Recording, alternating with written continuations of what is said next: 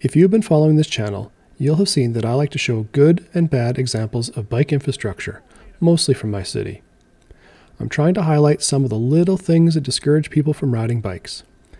These little things range from slight annoyances to major flaws. You'll also have heard me encourage my viewers to advocate for better bike infrastructure in their cities. Yet, I've never mentioned how to go about advocating for better bike infrastructure. In this video, I'll begin to address that gap. In this episode of Bike Bike Nudge Nudge, I'm starting a series of short videos where I will show what I do when I advocate for better bike infrastructure. Please consider liking this video if you think my advice on how to advocate might be helpful. So, where do you start if you want better bike infrastructure in your city? Find like-minded people. Let me illustrate this with an example.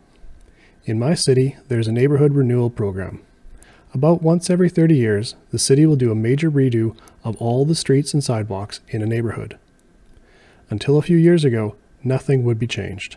Everything was just replaced. One neighborhood pushed back, so now, if you have advocates in your neighborhood, you can get some big changes. One neighborhood that I bike through a lot is currently up for renewal. One of the organizers, who's trying to get better bike infrastructure as part of the renewal, was looking for more people to help out my name came up at Coffee Outside, which is a casual gathering in my city of people who drink their coffee outside each Friday. I occasionally attend.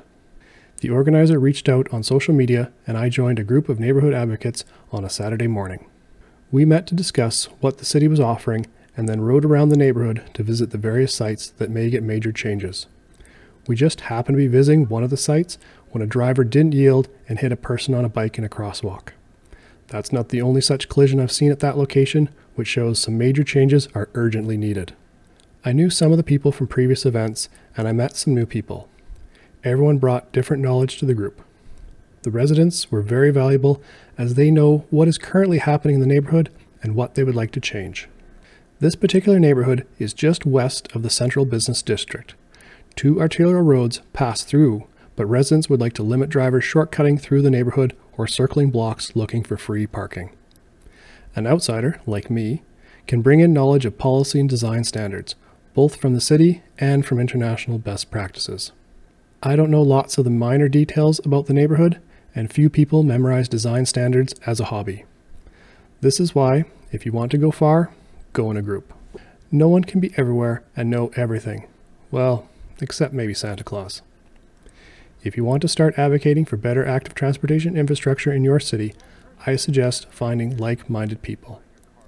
In my city, there are a large number of good people I've met over the years who are trying to improve active transportation. I've participated in formal groups and informal groups.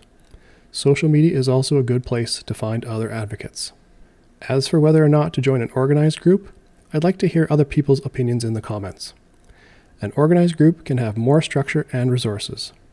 They can get a seat at the table when the city wants to have early consultations with select stakeholders. But your particular concern may not interest an organized group. Also, I wonder if all the voices of the group will only be counted as one voice by city administrators, since they mostly see one or a few leaders at all meetings. A formal group also has resiliency, as the sudden demise of a social network platform can negatively affect communication in an informal group. And that's my suggestion for the first step to start advocating in your city. Find like-minded people. I'm interested to hear your thoughts. Thanks for watching.